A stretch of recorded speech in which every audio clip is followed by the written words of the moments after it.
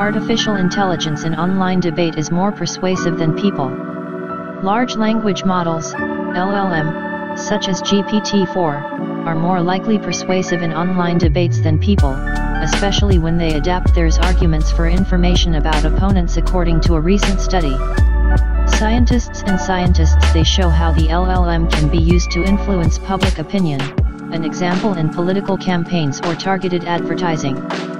Chatbots with artificial intelligence in online debates may be more convincing and capable of changing opinions or beliefs than people of people. When the LLM gets information about your opponent, it is able to present particularly convincing arguments. This allows it to affect it completely resold e-voters or effectively encourage the purchase of a product.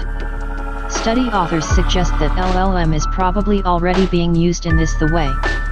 Results and description of the research appeared in the journal Nature Human Behavior. Convincing artificial intelligence can be implemented on its a large scale. You can imagine armies of bots targeting the undecided voters who subtly push them with adapted political narratives, which seems authentic, said Francesco Salvi from Polytechnic Federal in Lausanne, CO author of the study. He added that such influence is difficult to tracking, even more difficult to regulate and almost impossible elimination in real time. I would be surprised if it turned out, that malignant actors have not yet begun to use these tools for their own benefit to spread misinformation and unfair propaganda he has admitted Salvi. Salvi and his colleagues invited 900 people to study from the USA. They asked to discuss various issues online socio-political, such as whether the United States should ban fossil fuels or whether students should wear school uniforms. Every person a partner was assigned to the discussion. Some people debated with man, and some from the GPT-4. In some pairs, the opponent, is artificial intelligence or human, received information about your opponent, such as gender, age, ethnicity, level of education, employment status, or the political beliefs. Scientists obtained this information from the questionnaires that filled out people invited to the research. The debates were held in a controlled online environment. Before and after each debate, participants completed a short survey on this, in how much they agree with the thesis of the debate. This allowed the researchers to determine whether their views have changed. Scientists have seen that the GPT-4 armed with knowledge of the subject the opponent was in 64.4% more convincing than the human opponents with the same information. However, without access to personal data the opponent, the persuasive abilities of GPT-4 were indistinguishable from people's abilities. Salvi admitted that even when information about the interlocutor was scant, the GPT-4 was more convincing than the people. And this type of information can be found on social media profiles. He added that the LLM could be even more convincing if it were equipped in more detailed information about the opponent. Anyway, it's like that information can also be found on social media. Participants in three quarters of cases guessed whether they talked to a chatbot or a real man. It is not clear whether being aware that they were talking to the LLM increased the likelihood of a change of mind or not. Salvi admitted that GPT-4 raised various arguments during debate when he had access to personal information, depending on who he had after the other side. For example, during a debate about uniforms, if he talked to someone about left-wing views, he would emphasize that if everyone did they wear uniforms, the risk of attacks and intimidation is less.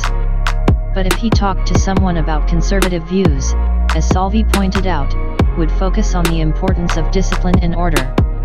Catherine Flick of the University of Staffordshire Britain admits that from this research emerges a vision of a world in which people emerge they use chatbots for negligible purposes, whether it's to convince someone to do a smoking money, or to persuade a political opinion or to committing a crime. The fact that these models are able to convince more commemorially than people, it's really scary, she said. Salvi shares these concerns but he's also excited potential positive uses, such as using an LLM for promote a healthier and more balanced diet or to reduce the political polarity. He added that there is a need for more talk about accountability, transparency, and security measures if the LLM is to have positive impact on society. Study authors indicate that their work was certain the restrictions. The debate they organized was organized and moderated, and in the real world, such an exchange of opinions may take more a free form. In addition to this debate, they had a time limit up to 10 minutes. The research results highlight the potential of tools based on artificial intelligence to influence public opinion, what it may have implications for many aspects of life from choices to shopping in the store. An unknown discovery on Tiangong Space Station A strain of bacteria. Analysis of samples taken from China Space Station Xi showed that the interiors of the Tiangong station are inhabited by an unknown strain of bacteria, which developed new adaptations to survive in space. Scientists and scientists they indicate that the precise characteristics and knowledge of this bacteria and others microbes that adapt to being outside the Earth are necessary for protecting the health of astronauts and the functionality of the spacecraft during long missions scientists have discovered never-before-seen strain on Earth bacteria inside the Chinese space station Tiangong. The new microbe has been named Niallia tiangongensis, in honor of Tiangong Station and is related to Niallia circ oolons a pathogen that lives in soil, is linked to wound infections and can cause sepsis. Research on a new strain of bacteria has appeared on the International Journal of Systematic and Evolutionary Microbiology, Behind the research are scientists from Shenzhou Space Biotechnology the group and the Beijing Institute of Spacecraft System Engineering. An unknown strain the bacteria discovered in swabs collected from inside Tiangong Station in May 2023 the year. New species appears to be a close cousin of the known strain Oniolia circ a bacterium that has been a few years left this was referred to as Bacillus circ but in the new the classification was transferred to the genus. Niallia circ oolons and her cosmic relatives form extremely durable spores to survive a period of high stress the environmental. At this stage, it is unclear whether Niallia tiangongensis has evolved in the cosmos of Niallia circ oolons through specific mutations, or some spores with beneficial genetic changes are in an environment where these mutations could give an advantage. Analyzing a new strain of bacteria, the researchers found that it has the unique ability to break down gelatin as a source of nitrogen and carbon, which adds it is when you have to build a protective layer of biofilm under which it can take off, when conditions become difficult. But on the other hand, a new strain probably lost the ability to use other energy-rich substances with which his cousins are happy to feed. What's more, some mutations spotted in Niallia tiangongensis seems to improve the ability to respond to stress oxidative and increase repair possibilities after damage caused with irradiation. These are useful features, especially in space. This situation shows how easy it is for some microbes to settle in our orbiting habitats.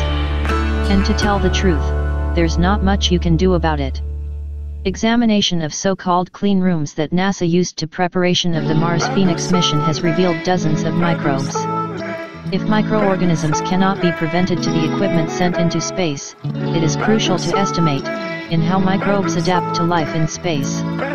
Detailed Niallia studies Tiangongensis and similar species are essential for health protection astronauts and ships on long missions in space. It has not yet been established whether Niallia tiangongensis is a threat to the health of astronauts, but given the ability of her relatives to induce sepsis in immunocompromised and newly discovered patients the ability to break down gelatin, potential health problems caused this and other cosmic microbes can be a serious problem. The presence of mutant bacteria is not as unexpected. Something similar has been observed many times on the International Space Station, where along with the astronauts around the Earth orbits the entire menagerie of microorganisms, which got on board with people or supplies from the Earth. Construction of China's Tiangong space station, name can be used translate as Heavenly Palace, in low Earth orbit it started in 2021. Then at the top of the rocket Long March 5B in space has been launched the main module of the station Tianhe, Heavenly Harmony. In July 2022, the Wentian module joined Tianhe, seeking the heavens, and in November, the third module of the station called Mengtian, Heavenly Dream. In total, the station has about 110 cubic meters of spaces. Energy is provided by solar panels that can generate 27 kilowatts of power. The whole it currently has a weight of about 77 tons a fraction of the mass of the International Space Station, which weighs about 465 tons. The station is about 20% larger than the ISS. How to assess the specialists from the Middle Kingdom, the life of Tiangong Station will be shaped from 10 to 15 years. Tiangong's first crew appeared when it was in orbit just a Tianhe module. It was June 16, 2021. Taikonauts spent on her a deck of 90 days, three times longer than any previous mission China,